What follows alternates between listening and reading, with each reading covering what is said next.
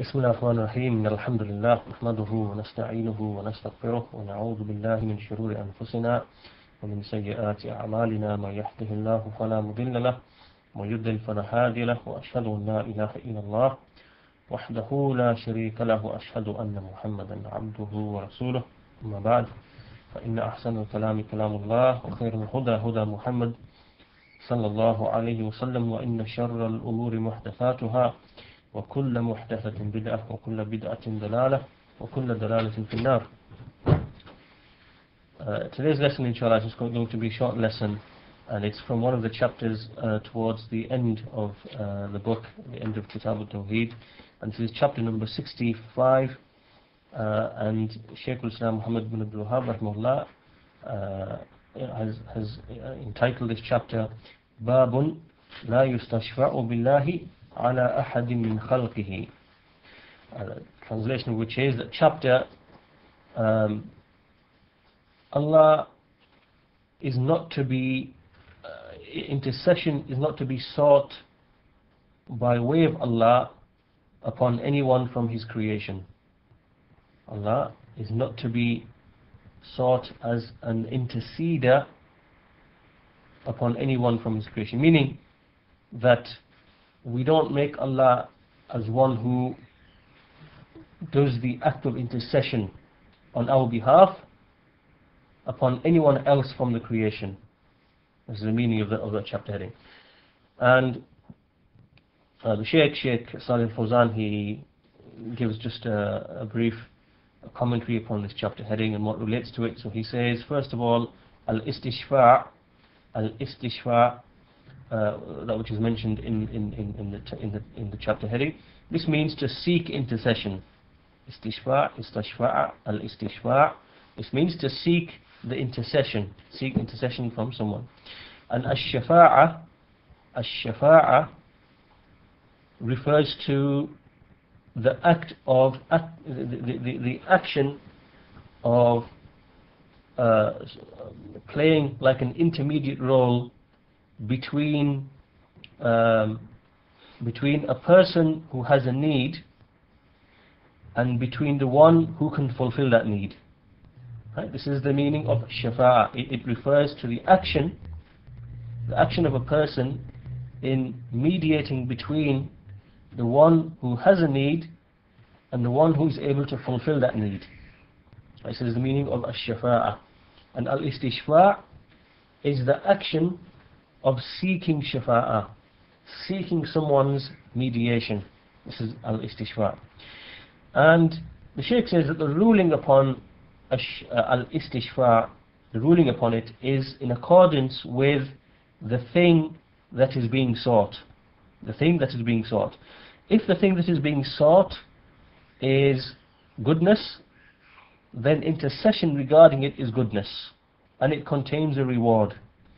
As Allah subhanahu wa ta'ala says in an ayah, من يشفع شفاعة حسنة يكن له نصيب منها um, that whoever made an intercession that was good then he will have a portion thereof meaning a portion of the goodness thereof and likewise the messenger sallallahu alaihi wasallam said ishfa'u tu'jaru that, that intercede and you will be granted reward and as for when the, the, the shafa'a, the, the mediation uh, is regarding an issue which is haram, then of course the, the ruling upon it is that it is haram.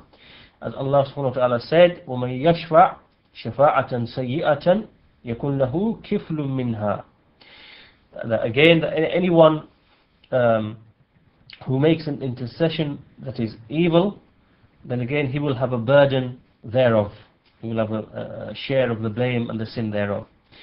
Like for example, the Sheikh illustrates, like for example, a person who mediates um, uh, on behalf of someone who has fallen into uh, either a zina, adultery, fornication, or who has stolen, or who has uh, consumed alcohol or something, and then he wants to mediate in order that the punishment, the prescribed punishment upon such people is dropped.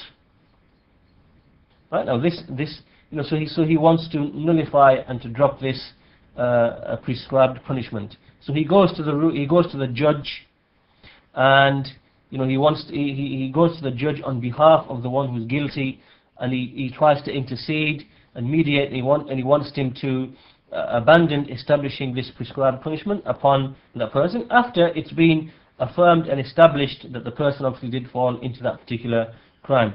So here, this this type of mediation, this type of intercession is haram, is haram.